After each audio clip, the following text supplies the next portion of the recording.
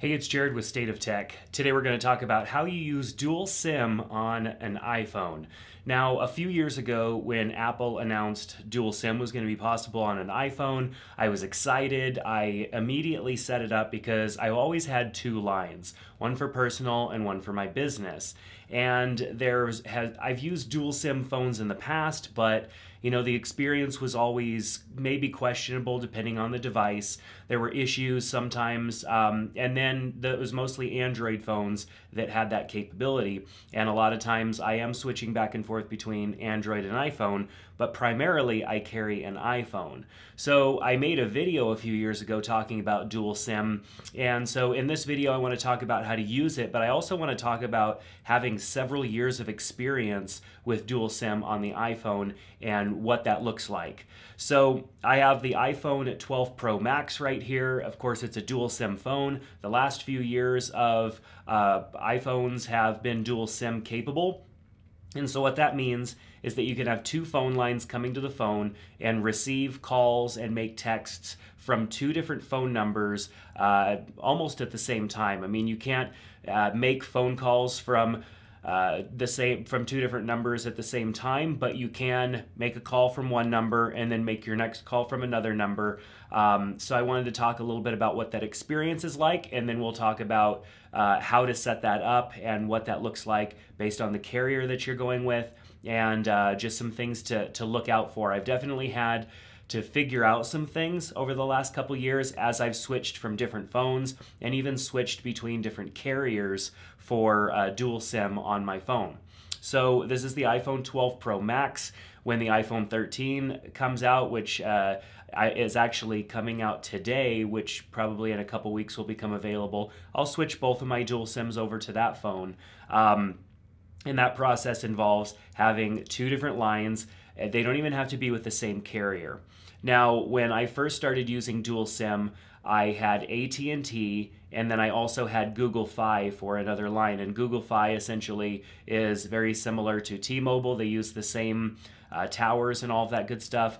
But Google Fi is from Google, and it's pretty easy to set up and pretty inexpensive, which is why I went with it. Now, dual SIM means that you can have two lines coming to your phone. It also means that you can have two different data uh, accounts coming to your phone.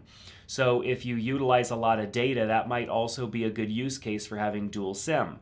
These days we have unlimited data, but unlimited data becomes throttled when you go over a certain amount of data. So if you had a second line on your phone, you could switch over to that other line uh, as far as it being your primary data line, and then that line would start to utilize data, and you'd have unthrottled data until you ran that line out of its unlimited data and hit the cap.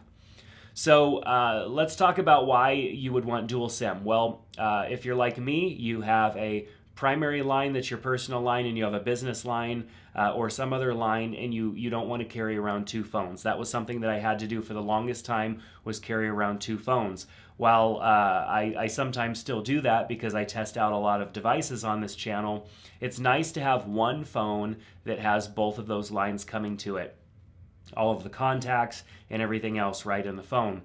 So with dual SIM, that makes it pretty easy, but you do have to have two different lines. So I utilize two different carriers, but you don't have to do that. You can utilize the same carrier. AT&T, T-Mobile, Verizon, and uh, well, anything that uh, T-Mobile has swallowed up, such as Sprint, they all support dual SIM on this phone. So if you go and get a second line, all you'll have to tell them is that you need an eSIM for that second line. Now, the little uh, card slot, the SIM card slot on your phone, still only supports one physical SIM, which means you put a physical SIM in and then you put a, another SIM uh, in via a digital format.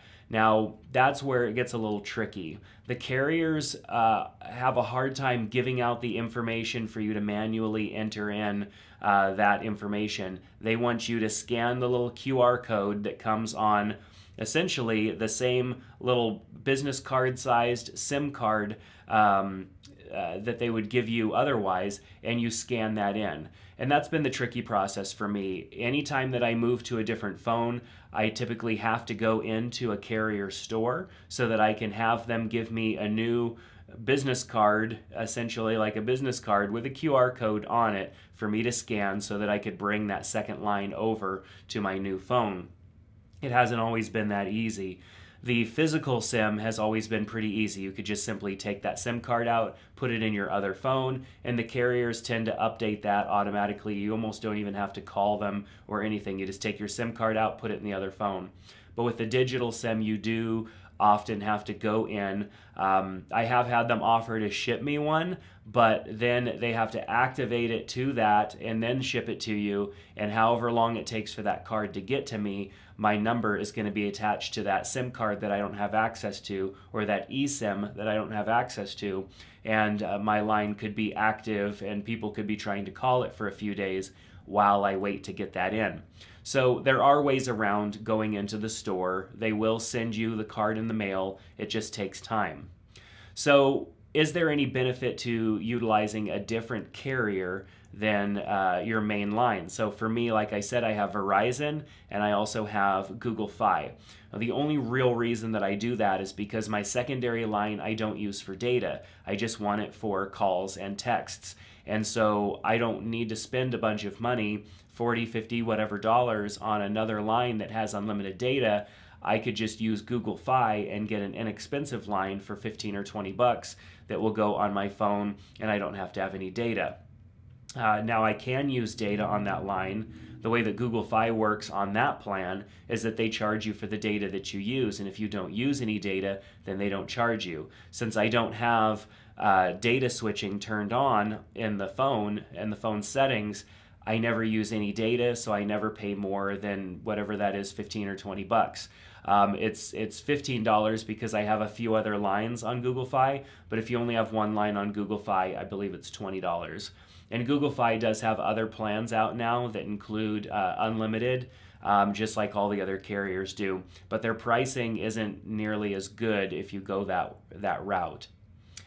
So for me, I've chosen Verizon as my main line because Verizon provides the best coverage where I'm at up here in northwestern Montana. When I uh, lived in California, I would I was fine on AT&T. I never felt a need to switch over to Verizon. And when I did switch over to Verizon before moving up here, I didn't really notice any difference. I think I liked AT&T better for that area where I lived at the time.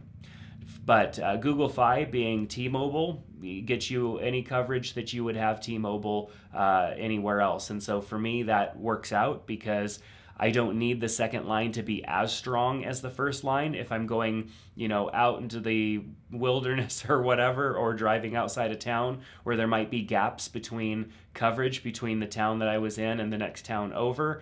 I don't mind my second line dipping out. I'm still going to have coverage on my first line, I'm still going to have data, but my second line just becomes inaccessible. And there even has been times where Verizon has been inaccessible, and I've had coverage on the um, on the Google Fi line, essentially T-Mobile. And there are settings in your phone that you can switch over your data between the two. So if your main went out and then all of a sudden you didn't have any data, you can switch over to your backup. So we're going to dive in and look at the settings so that you can kind of see how this works. Uh, I'm going to record my screen here and then you can see the settings that I have uh, that, that, are accessible on our, our phones to change. So you can go into settings. So I'm just going to type in settings and there is a cellular tab right here. Now you'll see that I have primary and business. Those are the two different lines and you can label them accordingly. So that way when you get a phone call it says, you know, P for primary, B for business, or the first letter of whatever it is that um, uh, you set these as.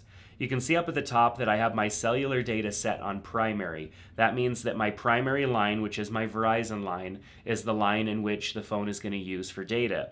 But I can also switch this to business or switch this to the other line. And I can also allow uh, cellular data switching as well. Now, this basically means that if you are using data and then you get out of range on one line, it's going to switch over to the other line. Um, I do believe that it will prioritize one, but as you can see here with the little description below, coverage and availability is what uh, is the deciding factor there. You can also turn on and off your, um, your personal hotspot uh, just like you can in uh, the normal setting. You set your default voice line. And essentially what default voice line means is that when you go to the phone app, which line is it going to choose first? So primary, I usually use my phone for making personal calls more so than business calls, and so default voice line to primary. Now, under cellular plans, uh, under primary, here's where I could choose my label. And so it has uh, several built in labels that you can choose from, and then I could type in a custom label. I can turn this line on or off. So for example, my secondary line, if I want to turn it off on the weekends and not have access to it at all, I could simply toggle that line off. So if you do uh, utilize this second line for maybe being on call or something like that, or it's for work and you don't want any calls to come through over the weekend, you could simply turn that line off, which is nice. You just have to remember to turn it back on. Uh, you can see here my number. I can turn on and off Wi-Fi calling. Calls on other devices is that feature on an iPhone that allows you to accept calls on your Mac uh, MacBook Pro, Mac laptop, whatever, and your iPad. And then some of these other settings are going to come in by default, like voice and data, 5G auto, data mode, allow more data on 5G, uh, roaming, carrier services, and SIM pin, and all that stuff. So let's go down to the secondary line. Now the secondary line, all of these settings look pretty much the same. Uh, Google Fi uh, up here is LTE. There's no 5G anywhere around, so voice and data are going to be LTE. You can see that the network uh, selection is Google Fi, um, and uh, everything looks pretty much the same.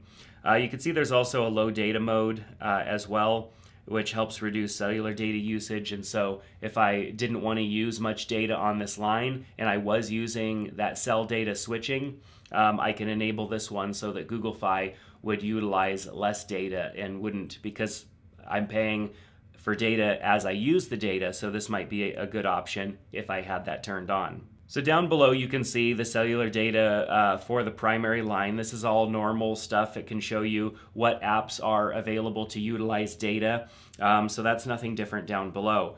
But these settings here are what enable you to utilize your dual SIM functionality.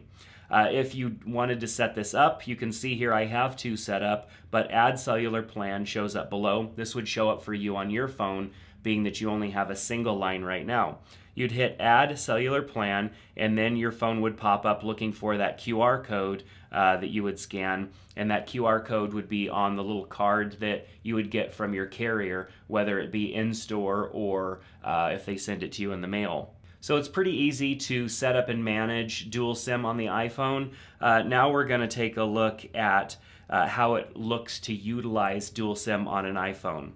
So you can see up at the top right hand corner that I have bars that are split. The top level of bars is going to be for my primary and the bottom level is going to be for my secondary line. If I swipe over from the side, you can see that I have Verizon and Google Fi, and I can see the level of service that I have with each.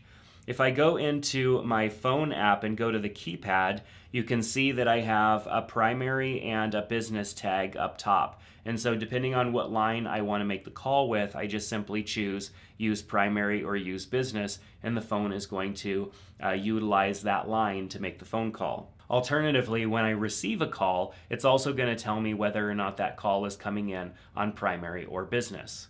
When you're looking at a contact, you can also see right underneath it whether it was last used utilizing the business line or the primary line. And so uh, the phone even reminds you which line you primarily use for communicating with this person.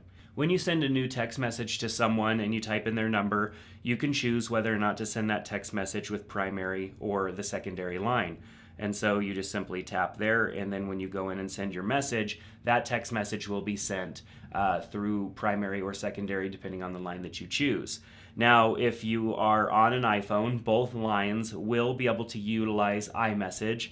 I typed in a fake number here, which of course uh, Apple can't recognize as an iMessage line, and so it basically just uh, you know goes green. But you should be able to utilize iMessage on both lines if uh, you're text messaging someone who's also on an iPhone. If you're trying to message someone and it, it won't show up as an iMessage, you know the other person has an iPhone and so do you, then you need to go into your Messages app here and make sure that send and receive is set to both of those phone numbers that are on your phone.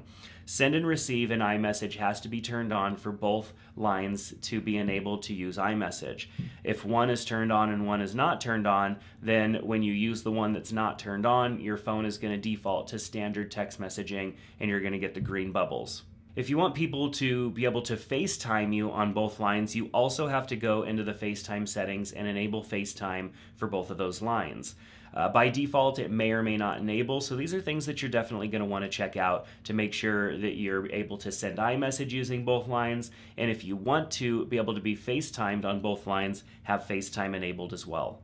So Dual SIM is a really great feature on the iPhone and it makes it really nice because now we don't have to carry around separate phones. You can have two lines on your phone for relatively inexpensive. If you're like me, utilize a main carrier that has the best coverage in your area uh, that, that provides you the data package that you need, and then get an inexpensive line. If you can't get an inexpensive line as that secondary line from the carrier, the same carrier, then go with a different carrier like I did, such as Google Fi, where you can get an inexpensive line. I've got a link down in the description below where you can sign up for Google Fi and, uh, and give it a try. I think they've got um, a, a free week or something like that, or they've got promos going on all the time.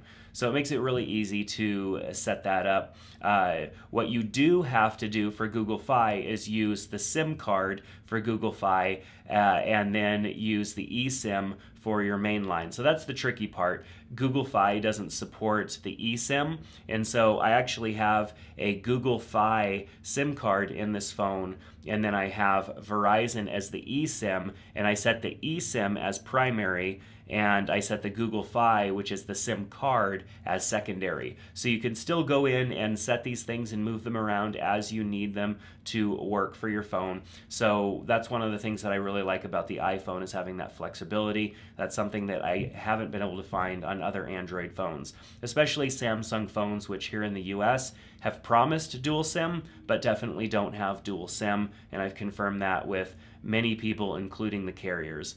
So if you have any questions about this, this can be kind of tricky how you want to set this up, how you want to utilize it. Definitely ask down in the comment section below. I'll do my best to answer your questions. And uh, yeah, subscribe to the channel because I'm always trying to put out useful content like this to help people with different things that I've had to deal with myself. And so if you want more videos like this, click subscribe. And I hope to see you back in another video soon here on State of Tech. Take care.